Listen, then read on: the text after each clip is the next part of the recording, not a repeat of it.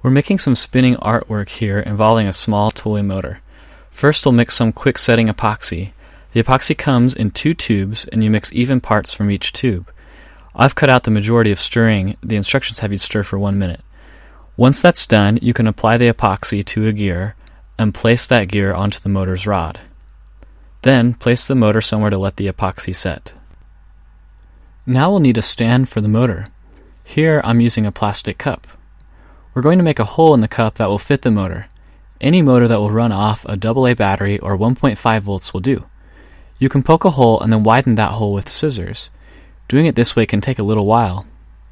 As you can see, this activity is pretty hands on. I like it that way. You get to see the process of taking things that seem unrelated and changing their shapes and putting them together to make something totally new. For example, I got this old motor from a toy store. It came out of a broken toy. Plus, we're going to use glow in the dark paint, which was about as cool as flying cars when I was a kid. I still like it now. Okay, now that the motor fits the hole, we need to do something so that it doesn't just fall through the hole up to the attached gear. We'll put a rubber band around it to make it a little wider in the middle.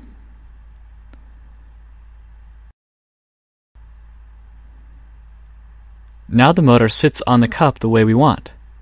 Alright, grab the glow in the dark paint and make your design.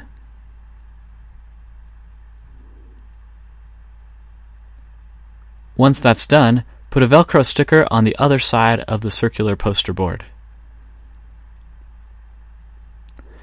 I tried a few different designs with the paint. First I tried a spiral, but the motor was spinning so fast that it didn't look like a spiral.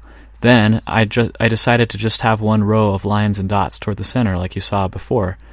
I thought it'd be fun to have that design create circular streaks when the motor spun, but then there was so little glow in the dark paint that it wasn't bright enough for the video. So that's why I added more paint.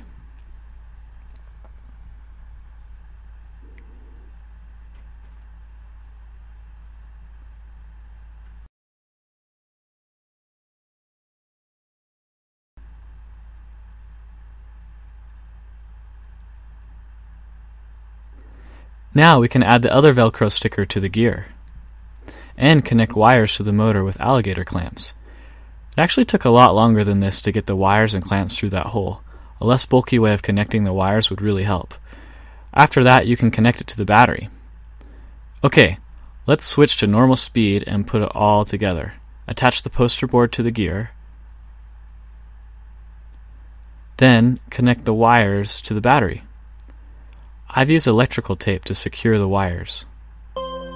Put the whole assembly under a cardboard box with a small space to see through. Also, I'm using a black light so the glow shows up super bright and can be captured better on video. The glow is extra cool with the black light, but you don't need it for a good glow in person.